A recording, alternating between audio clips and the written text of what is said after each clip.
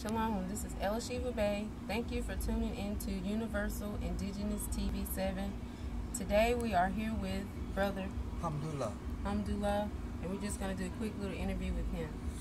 So I mean, brother, um, can you can you explain to the people? I mean, because you know, I, I listen to you talk, um, and your energy is very um, vibrant. So can you explain to the people out there that's listening why you have those beads? What's the significant?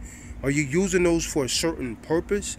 Because I mean, the average um, uninformed person will come around and just think that you're some weirdo and so on. So can you just touch on that and enlighten the people and why you have that inflector vest? And if you could actually show me what you showed me earlier, what you have on the inside of your hat, why you had that? Because you will actually be teaching the people, and actually, to me, I see you as a walking dictionary. Could you please inform them, just briefly, what's the significance of these things? Well, this is a blessing, opportunity for me to expose this knowledge. With this knowledge and what I have on is about protecting yourself from the five point star devil system. Okay. And what they do here in New Orleans, they have chemtrails, Okay. magnesium. The airplane be making these long white lines in the sky. Right, right. And when it comes down on us, when it get into any energy source, here in New Orleans, we have the car lights on in the daytime and the sun be shining. Now they move from yellow lights to white lights. All right. Now, anything has an energy source. They use that on us. Okay, so what I do is I have this knowledge to know what the enemy is doing. So what I do is I protect myself.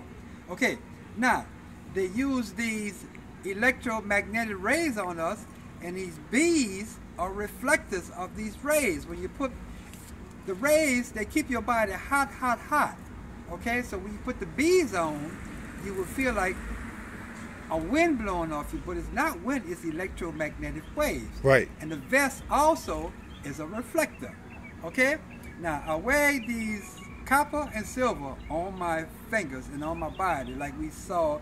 If we go back to the African days, the, the Africans, they have these copper br- braces around their, their muscles up here. That's right. That's a significant to let you know that these electromagnetic waves been going on for centuries, okay?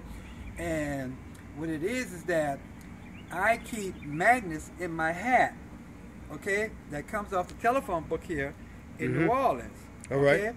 What it does, it keep me from You said that's a magnet. That's magnets. Okay. And what it does, it keep me from having headaches.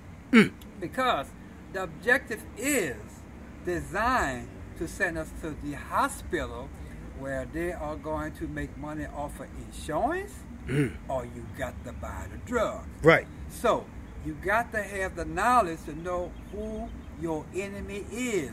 It's not the man that's walking to you. Spiritual thing. You got to be in the spiritual world to really know who your enemy is. It's the devil. And if you use your common sense, you know who the devil is.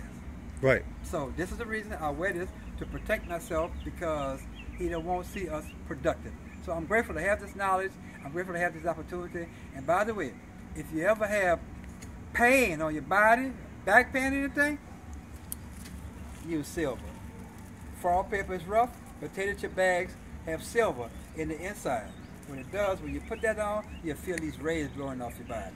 So I'm hope that you use this knowledge. Don't just listen to it, but use it to be applied knowledge, and your life's gonna be better.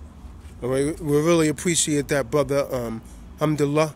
Um, you know, all praises to the Most High for putting you across my path.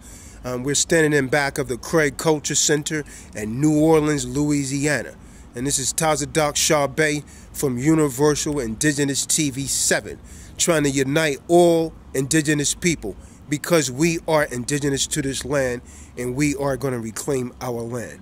Shalom, peace, hotep, assalamu alaikum, 165135 to the gods. Tazadaq Shah Bey and Alhamdulillah is out.